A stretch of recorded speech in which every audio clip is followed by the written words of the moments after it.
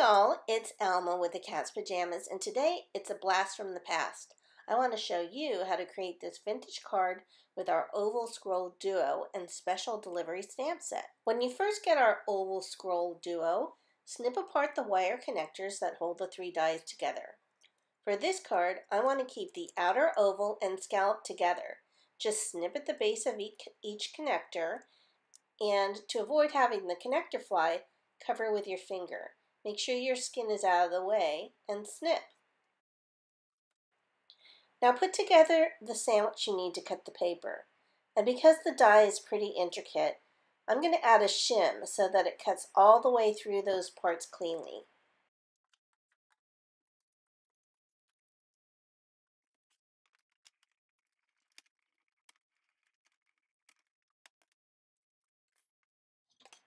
Now let's put the base together. Start with a piece of 5.5 by 11 inch piece of olive cardstock. I'll be using three inks to make this card vintage, Marvy Yellow, Ochre, and Brown, and I'll be using my handy dandy stylus. The next largest piece is a square of 5 and a quarter by 5 and a quarter. I'll apply the yellow with my stylus all the way around the edges. The yellow will go the farthest into the paper.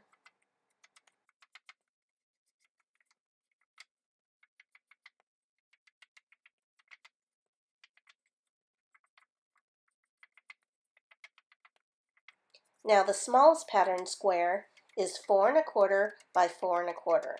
I'm going to do the same thing with the yellow. Apply it all the way around the edges and the yellow will go the furthest into the paper. And now for the mauve square. That one's going to mat the green one that I just sponged. The mauve square is four and a half by four and a half. I want the color to come through, so I won't go as heavy on this square.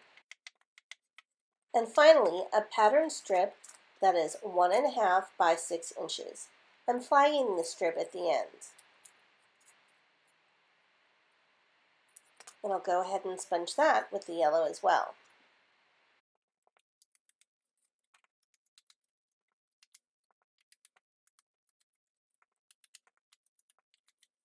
Now I'm done with the yellow. Repeat the same application with the ochre, not sponging in as far as I did with the yellow. Now let's speed it up a bit while I go through all the other pieces.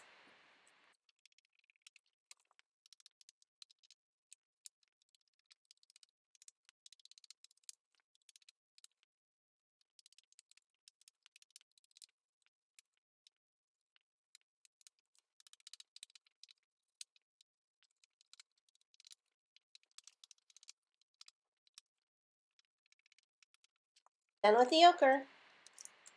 And finally the brown. You don't need as much brown, just the edges. That little bit of brown really does help to make this look more vintage.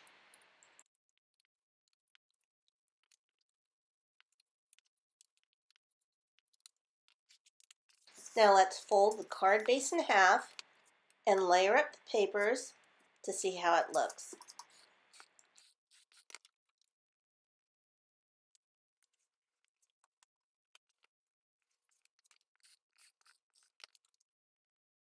I'd like to add a little scallop to the bottom of the, the smaller square, so we'll use our Queen of Hearts cut-ups. This die cuts two borders at the same time, so you can choose which one you like. And as you can see, it's a really great way to use scraps of paper just like this end piece that I would have thrown away. Bit of low tack artist tape to hold it in place and I'll run it through the die cut machine. See, two different borders. I'll just snip it apart and ink it up. And I'm just using whatever's left on the applicator to ink it. Attach to the bottom of the small square, centering the scallops in the square,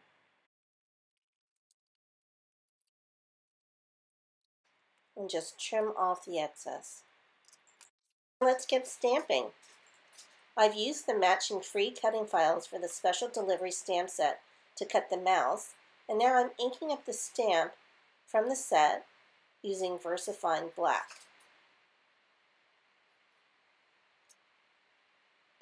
Looks good. Now let's color them up. I'm using the card as a reference for the colors. And I've pulled some Prismacolor pencils that I think will look good with the card and match the papers. Start light with the pencils, gradually building up the color as I go along. Light it first, and then darker where I think it needs to be. Right now I'm just putting down a light color layer. I'm going darker.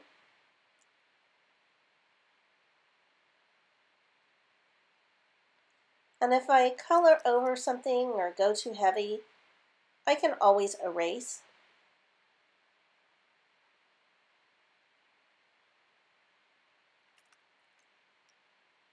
That's something you really can't do with watercolor.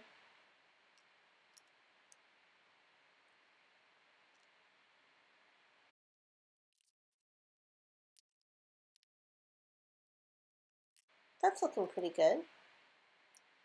Let's add a sentiment.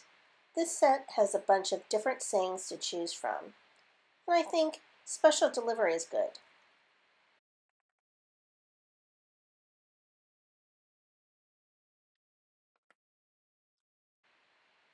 Now I think I want to add a sentiment in the corner.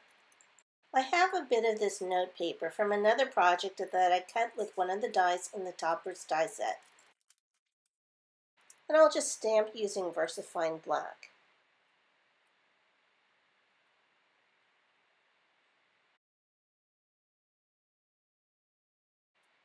But I think I want to include the top with a sentiment instead of it being at the bottom.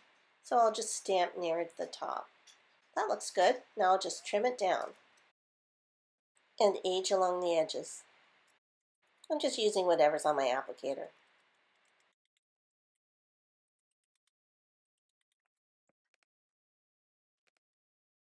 Now apply to the card with a little foam tape on the back.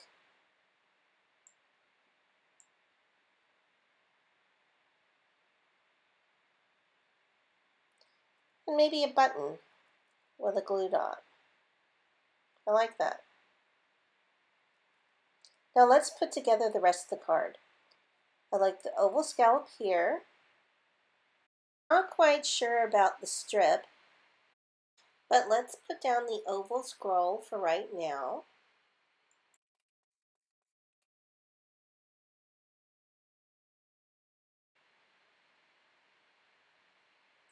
I think for the strip, I'm just going to make it a little bit shorter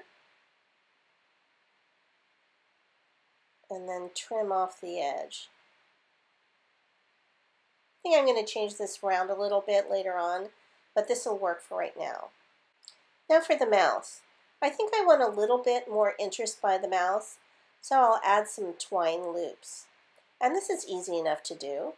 I'm just going to put some foam tape on the back of the mouth to make him stand up and set him aside.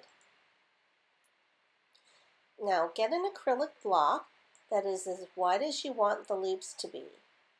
I want them on either side of the mouth. So this size block is perfect. I'll just wind the twine around loosely about three times because I want three loops on either side of the mouth. Now I'll just cut it off and I'll slide the loops off the acrylic block. Now to secure the loops, take the loose end right by where you clipped it off and wrap it around the loops. Then slide the end through the loop that you created and pull. See how that secures the loops?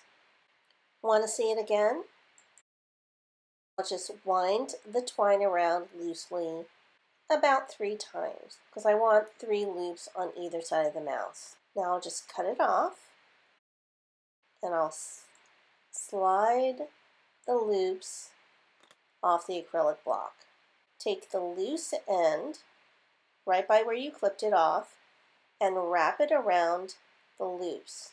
Then slide the end through the loop that you created and pull. And that's it. Now I'll just place the loops where I want them and remove the backing from the mouse and put it over the twine to secure the twine to the card. And a little snip. I think I'm going to fuss around with the layout a little bit, but I think this is pretty close to being done. Making a vintage card is easy. I hope you give it a try. You can find all the stamps and dies on the Cat's Pajamas website. If you like this video, don't forget to subscribe. Have a great day.